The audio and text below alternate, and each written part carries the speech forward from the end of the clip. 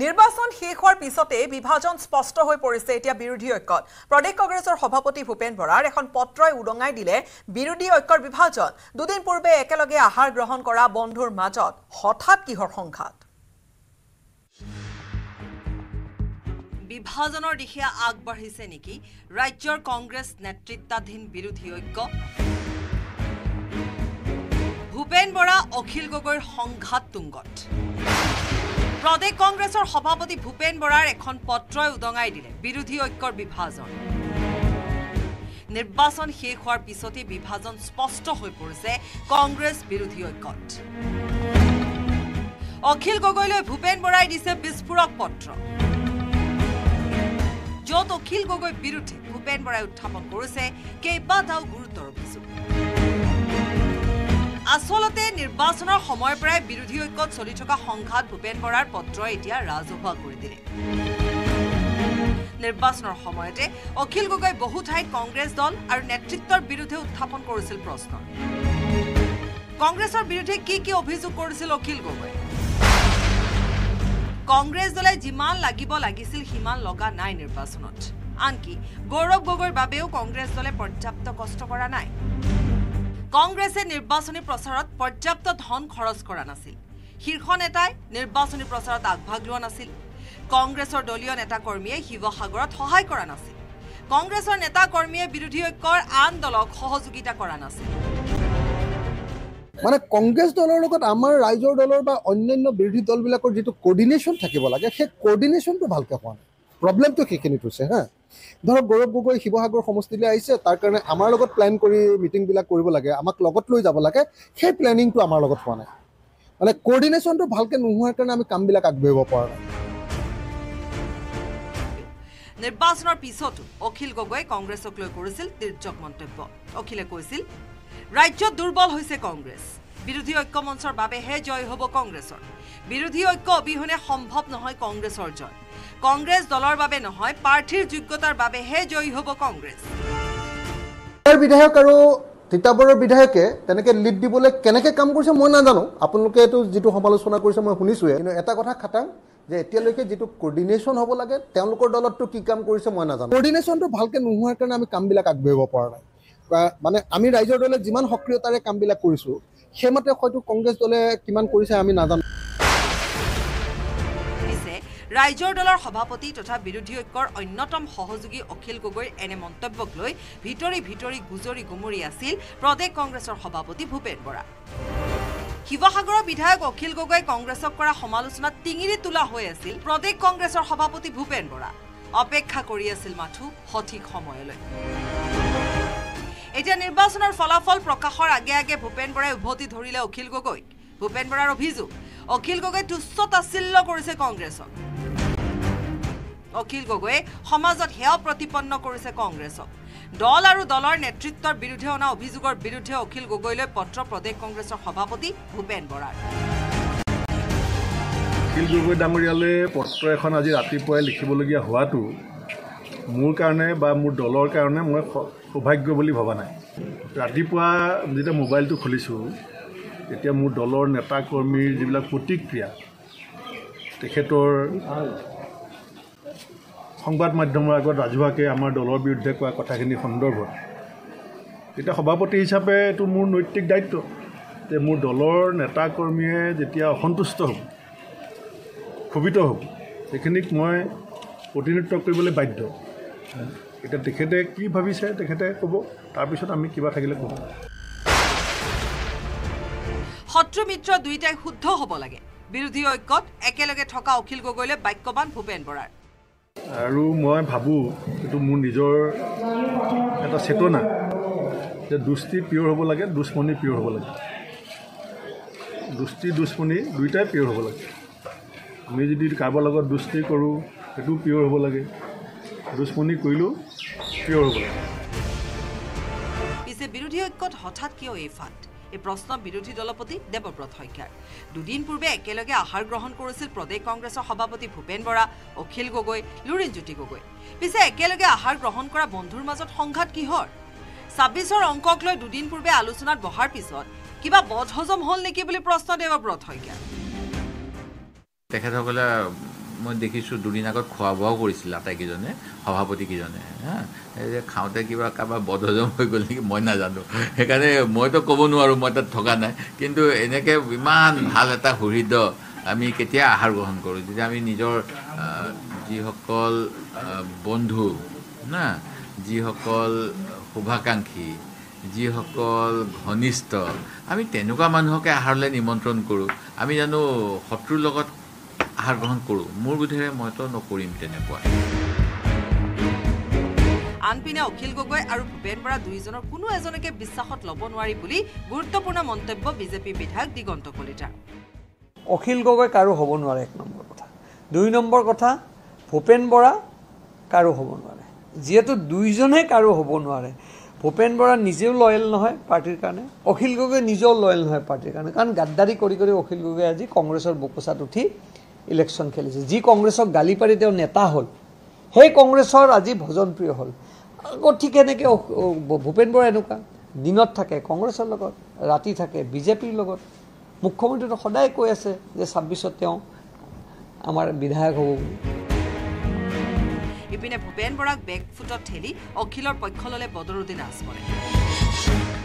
কংগ্ৰেছৰ বিৰুদ্ধে অনা এনে অভিযোগ মিছা নহয় বুলি ক'লে বদৰুদ্দিন আজমলে। নিৰ্বাচনত কংগ্ৰেছৰ কোনো নেতাই কাম কৰা নাই। কাম কৰিছে অখিল আৰু লুৰিনেহে অখিল গগৈ যিটো কৈছে এইটো সঁচা কথা। কোনো জেগাত যেতিয়া কোনো ডাঙৰ ডাঙৰ এম এল এসকলে কংগ্ৰেছৰ হাত দিয়া নাই। নিজৰ ৱৰ্কাৰসকলে চাথ দিছে। মই মোৰ ধুবুৰীত এইটো পাইছোঁ নগাঁৱত এইটো পাইছোঁ। কংগ্ৰেছৰ ডাঙৰ ডাঙৰ নেতাসকলে কোনো কাম কৰা নাই বলকে বিৰোধী কাম কৰিছে চুপচাপ থাকিছে মই নগাঁৱতো পাইছোঁ মই নগাঁৱতো পাইছোঁ আৰু মই ধুবুৰীতো পাইছোঁ એટલે অখিল আৰু লুৰিনে যোৱাবাৰ ইলেকশ্যনত আমাৰ যে এলায়েন্স আছিল এইটো ভাংগাৰ এক নম্বৰ কাৰণেই হ'ল অখিল গগৈ আৰু লুৰিণ জ্যোতি এনেদৰে এতিয়া ছাব্বিছৰ অংকলৈ বৈঠকত বহা ভূপেন বৰা অখিল গগৈৰ সংঘাত স্পষ্ট হৈ পৰিছে এনে সংঘাতে ছাব্বিছলৈ কাক সহায় কৰিব? সেয়া সময়তহে দেখা যাব। কেমেৰাত সঞ্জয় বৰাৰ সৈতে Bolen Bhattacharya report News Eighteen Assam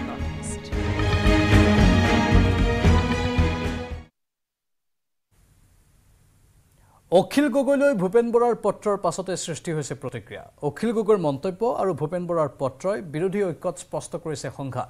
নিৰ্বাচন যোৱাৰ পাছত ভূপেন বৰাৰ বাবে প্ৰয়োজন নাই নেকি অখিল গগৈৰ? কংগ্ৰেছৰ বাবে ডিছপজিবল গ্লাছ নেকি অখিল গগৈ? ভূপেন বৰাৰ পত্ৰৰ পাছতে উদয় হৈছে এনে বহু প্ৰশ্নৰ। ডিছপজেবল অখিল গগৈ। কংগ্ৰেছৰ বাবে ডিছপজেবল গ্লাছ নেকি অখিল গগৈ? ভূপেন বৰাই ডিছপজেবল গ্লাছৰ দৰেই ব্যৱহাৰ কৰিলে নেকি Akhil Gogoi?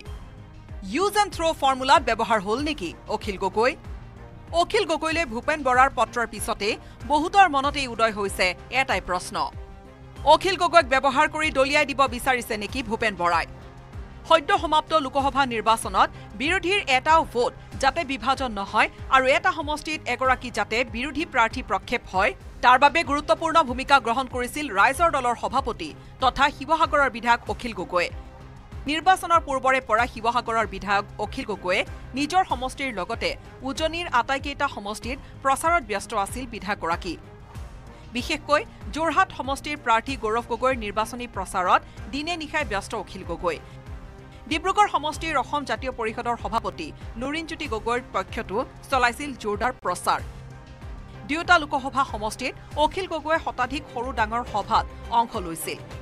ইমানেই নহয় দ্বিতীয় পৰ্যায়ত নগাঁও লোকসভা সমষ্টিত সংখ্যালঘু ভোট যাতে বিভাজন নহয় তাৰ বাবে অখিল গগৈয়ে প্ৰচাৰ চলাইছিল। তৃতীয় পৰ্যায় তথা অন্তিম পৰ্যায়ত গুৱাহাটীৰ লগতে আৰু ধুবুৰী লোকসভা সমষ্টিত কংগ্ৰেছ প্ৰাৰ্থী মীৰা বৰঠাকুৰ আৰু ৰকিবুল হুছেইনৰ হৈও প্ৰচাৰ কৰিছিল অখিল গগৈয়ে। নিৰ্বাচনৰ সময়ত দেহে কেহে প্ৰচাৰত লগা এইগৰাকী অখিল গগৈ এতিয়া এলাগী হোৱাৰ পথত বিৰোধী ঐক্যত। বিৰোধী ঐক্যৰ মূল দল কংগ্ৰেছক ভুল ত্ৰুটি সমালোচনা কৰাৰ বাবে এতিয়া ভূপেন বৰাৰ ৰোষত পৰিছে অখিল গগৈ। কংগ্ৰেছ দলৰ কাম কাজক লৈ মন্তব্য নকৰিবলৈ অখিল গগৈক সকিয়নি দিছে ভূপেন বৰাই। অন্যথা কংগ্ৰেছ দলে অখিলৰ বিৰুদ্ধে ব্যৱস্থা ল'বলৈ বাধ্য হ'ব বুলিও দিলে লিখিত ধমকি। অখিল গগৈ ডাঙৰীয়ালৈ পত্ৰ এখন আজি ৰাতিপুৱাই লিখিবলগীয়া হোৱাটো মোৰ কাৰণে বা মোৰ দলৰ কাৰণে মই সৌভাগ্য বুলি ভবা নাই। দুষ্টি দুশ্মনী দুয়োটাই পিয়ৰ হ'ব লাগে। পাছত চাওঁ তেখেতে কি কয়। কোনোবাখিনিত কিবা বাধা আহিছে নেকি ঐক্যমঞ্চত কিবা বাধা টানিব নেকি মই যিখিনি চাওক মই ৰাতিপুৱা যেতিয়া মোবাইলটো খুলিছোঁ তেতিয়া মোৰ দলৰ নেতা কৰ্মীৰ যিবিলাক প্ৰতিক্ৰিয়া তেখেতৰ সংবাদ মাধ্যমৰ আগত ৰাজহুৱাকৈ আমাৰ দলৰ বিৰুদ্ধে কোৱা কথাখিনি সন্দৰ্ভত। এতিয়া সভাপতি হিচাপে এইটো মোৰ নৈতিক দায়িত্ব যে মোৰ দলৰ নেতা কৰ্মীয়ে যেতিয়া অসন্তুষ্ট হ'ব ক্ষোভিত হ'ব সেইখিনিক মই প্ৰতিনিধিত্ব কৰিবলৈ বাধ্য। এতিয়া তেখেতে কি ভাবিছে তেখেতে ক'ব। কংগ্ৰেছৰ প্ৰাৰ্থীৰ বাবে নিৰ্বাচনত প্ৰচাৰ চলোৱাই নহয়। অখিল গগৈ বিৰোধীৰ বিজয়ৰ বাবে এটা সমষ্টিতো প্ৰাৰ্থিত্ব নিদিওঁ বুলি চূড়ান্ত ত্যাগ কৰিছিল নিৰ্বাচনত। প্ৰশ্ন হৈছে বিৰোধী ঐক্যত থাকিও এখনো আসন দাবী নকৰি ছুপ্ৰিম ছেক্ৰিফাইচ কৰা অখিল গগৈক ডিছপজেবল গ্লাছৰ দৰেই দলিয়াই দিব নেকি কংগ্ৰেছে? বলেন ভট্টাচাৰ্যৰ report News Eighteen Assam North East.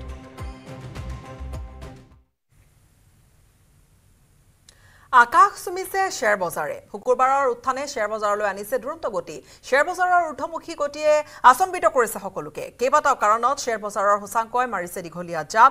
Share বজাৰত দেখা গৈছে অভিলেখ সৃষ্টিকাৰী প্ৰভাৱ।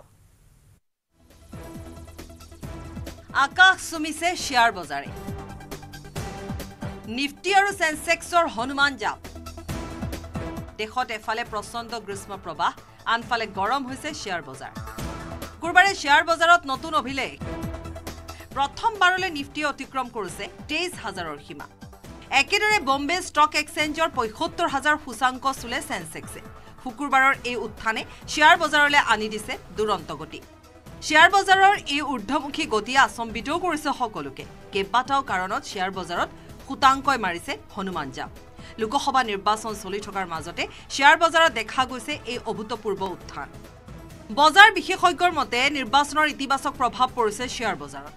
মোদী থ্ৰী পইণ্ট ট'ৰ ওপৰত আস্থা প্ৰকাশ কৰিছে বিনিয়োগকাৰীয়ে। চলিত লোকসভা নিৰ্বাচনৰ ফলাফলক লৈ বিনিয়োগকাৰীৰ মাজত দেখা পোৱা উৎসাহৰ বাবে শ্বেয়াৰ বজাৰত দেখা গৈছে অভিলেখকাৰী প্ৰভাৱ। বজাৰত উঠা ঢৌ মতে প্ৰধানমন্ত্ৰী নৰেন্দ্ৰ মোদী তৃতীয়বাৰৰ বাবে দেশৰ প্ৰধানমন্ত্ৰী হ'ব। দুহেজাৰ ঊনৈছৰ তুলনাত অধিক আসন লাভ কৰি মোদীয়ে চৰকাৰ গঠন কৰিব। দেশত এখন শক্তিশালী আৰু সুস্থিৰ চৰকাৰ হ'ব বুলি এক ইতিবাচক ধাৰণাৰ সৃষ্টি হৈছে বিনিয়োগকাৰীৰ মাজত। নৰেন্দ্ৰ মোদীয়ে দুহেজাৰ সাতচল্লিছলৈ ভাৰতৰ বিকাশৰ বাবে ভিজন দেশ আৰু বিশ্ববাসীৰ সন্মুখত দাঙি ধৰিছে। সেই ভিজনে প্ৰভাৱিত কৰিছে বজাৰক। পাঁচটা পৰ্যায়ৰ ভোটগ্ৰহণৰ সমাপ্ত হোৱাৰ পিছত বিজেপিৰ চৰকাৰ নিশ্চিত হোৱাৰ পিছত বিনিয়োগকাৰীসকলে সুৰক্ষিত অনুভৱ কৰিছে আৰু বজাৰত ঢালিছে ধন। উল্লেখযোগ্য যে মোদীৰ কাৰ্যকালতে চেনচেক্স পঁচিছ হাজাৰৰ পৰা পঁয়সত্তৰ হাজাৰত উপনীত হোৱাটোৱে বিনিয়োগকাৰীসকলৰ বাবে হৈছে সকলোতকৈ ডাঙৰ বিশ্বাস। মোদীৰ নেতৃত্বত ভাৰতৰ অৰ্থনীতি সবল হৈছে বুলি বিনিয়োগকাৰীসকলে পতিয়ন গৈছে আৰু সেয়েহে আকৌ এবাৰ মোদী চৰকাৰ হ'ব বুলি নিশ্চিত হৈয়ে বজাৰত বিনিয়োগ কৰিবলৈ আৰম্ভ কৰিছে। শ্বেয়াৰ বজাৰত এই উত্থানৰ আন এক কাৰণ হ'ল চৰকাৰক ৰিজাৰ্ভ বেংকৰ ডিভিডেণ্ড প্ৰদান। বুধবাৰে ৰিজাৰ্ভ বেংকে কেন্দ্ৰীয় চৰকাৰক দুই লাখ এঘাৰ হাজাৰ কোটি টকাৰ ডিভিডেণ্ড প্ৰদান অনুমোদন জনায়। এই বৃহৎ পৰিমাণৰ ধনৰাশি চৰকাৰে লাভ কৰাৰ লগে লগে নতুন চৰকাৰৰ বাবে ই হৈ পৰিছে আশীৰ্বাদ স্বৰূপ। ইয়াৰ ফলত ভাৰতৰ অৰ্থনীতিৰ ৰেটিং পইণ্টটো হ'ব শক্তিশালী। এই বিশাল ধনৰাশিয়ে দেশৰ বাজেটত বিত্তীয় ঘাটি কম কৰাটো সহায় কৰিব। এই বিশাল পৰিমাণৰ ধনৰাশি মোকলাই দিয়াটোৱে দেশৰ বিত্তীয় ব্যৱস্থা মজবুত হৈ আছে তাকেই প্ৰমাণ কৰিছে। সেয়েহে দেশৰ অৰ্থনীতিত এই বিশাল পৰিমাণৰ ধনৰ আগমনে বিনিয়োগকাৰীসকলকো কৰিছে আশ্বস্ত। যাৰ বাবে শুকুৰবাৰে অভিলেখ সৃষ্টি কৰিলে শ্বেয়াৰ বজাৰৰ সূচাংকই। News desk report News Eighteen Assam North East.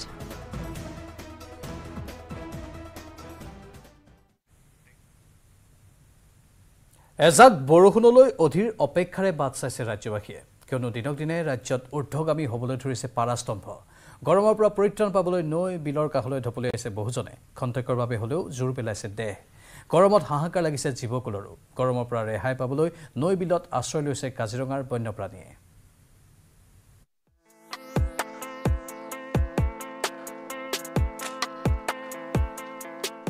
উৎকট গৰম। জুই যেন বেলিৰ তাপে দহিছে ৰাজ্যবাসীক। কমাৰ নাম লোৱা নাই তাপমাত্ৰা। দিনক দিনে বাঢ়িছে পাৰাস্তম্ভ। শুকুৰবাৰে দিছপুৰত চল্লিছ ডিগ্ৰী চেলছিয়াছৰ ঘৰ চুলে উষ্ণতাই। লখিমপুৰতো পাৰাস্তম্ভই স্পৰ্শ কৰিলে চল্লিছ ডিগ্ৰী চেণ্টিগ্ৰেড। বৰঝাৰ বিমানবন্দৰ আৰু গুৱাহাটী আই আই টি চৌহদত ঊনচল্লিছ ডিগ্ৰীলৈ উঠিল তাপমাত্ৰা। ঊনচল্লিছ ডিগ্ৰী চেণ্টিগ্ৰেড উষ্ণতাত আক্ৰান্ত হ'ল তেজপুৰ নগাঁও আৰু শিলচৰৰ ৰাইজ। ডিব্ৰুগড় নলবাৰী বৰপেটা বঙাইগাঁও কোকৰাঝাৰ কৰিমগঞ্জ আৰু হাইলাকান্দিত আঠত্ৰিছ ডিগ্ৰী চেণ্টিগ্ৰেডলৈ উঠিল পাৰাস্তম্ভ। সাতত্ৰিছ ডিগ্ৰী চেণ্টিগ্ৰেড উষ্ণতাই দহিলে যোৰহাট শিৱসাগৰ আৰু ধুবুৰীবাসীক ডাবৰ পানী ফল আৰু কুঁহিয়াৰৰ ৰসেও ৰেহাই দিব পৰা নাই গৰমে দহা ৰাইজক। বহুত গৰম পৰিছে। আজি বুলিয়ে নহয় এই দুদিন আগৰ পৰা মানে বহুত বেছি গৰম পৰিছে। মইতো আজি যোৰহাটৰ পৰা আহি আছোঁ কিন্তু এই যোৰহাটতকৈ ইয়াত বহুত বেছি গৰম পাইছোঁ। হয় আজি বহুত গৰম পৰিছে গুৱাহাটীত। তাৰ বাবে কি কৰিম এগিলাচ নেমু খাইছোঁ। দেহা ঠাণ্ডা পেলাবৰ কাৰণে। শনিবাৰেও পৰিত্ৰাণ পোৱাৰ আশা নাই ৰাজ্যবাসীৰ। এজাক বৰষুণলৈ বাট চাই চাই ৰাজ্যবাসী লেবেজান হৈ পৰাৰ সময়তে জ্যেষ্ঠ বতৰ বিজ্ঞানীয়ে ভাষ্য কঢ়িয়াই আনিছে আশাৰ ৰেঙনি। ৰাজ্যৰ ভিন্ন প্ৰান্তত মজলীয়া বৰষুণৰ লগতে বজ্ৰপাতৰ আগজাননী দিছে বৰঝাৰৰ আঞ্চলিক বতৰ বিজ্ঞান কেন্দ্ৰই। দেহ জোৰাব পৰা এজাক বৰষুণৰ আশাত অধীৰ অপেক্ষা ৰাজ্যবাসীৰ। গৰমৰ পৰা পৰিত্ৰাণ পাবলৈ নৈ বিলৰ কাষলৈ ঢপলিয়াই গৈছে বহুজন। শিলে কথা কোৱা শিলঘাটত বাঢ়িছে ভিৰ। নৈ পাৰৰ মলয়াত গা জোৰ পেলাইছে ডেকা গাভৰুৰ লগতে বৃদ্ধ বৃদ্ধাই। এই শিলঘাট আমাৰ শিলে কথা কোৱা শিলঘাট য'ত নেকি আপোনাৰ ৰঙাবাছৰ টিলিঙাই কথা কোৱা Silghat.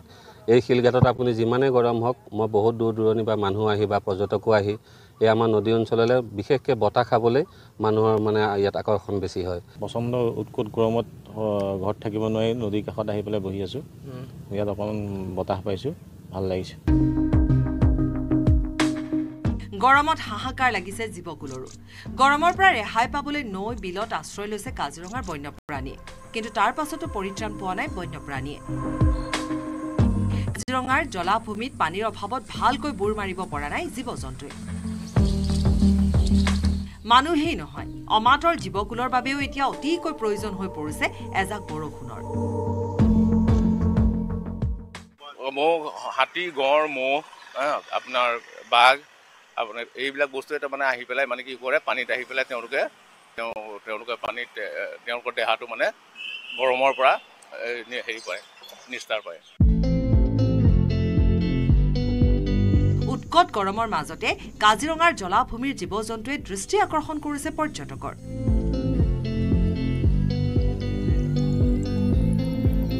Bureau' report News Eighteen Assam North East.